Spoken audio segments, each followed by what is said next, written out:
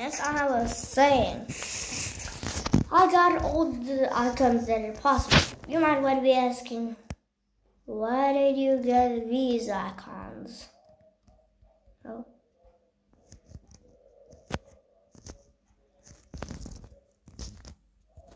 Or got any of these. Or like this one, like this one. Like seriously, RobTop, why did you put the swing copter in? It's not even in the game. You're making fan, uh, the fans confused. Anyways, this was just video just for attention.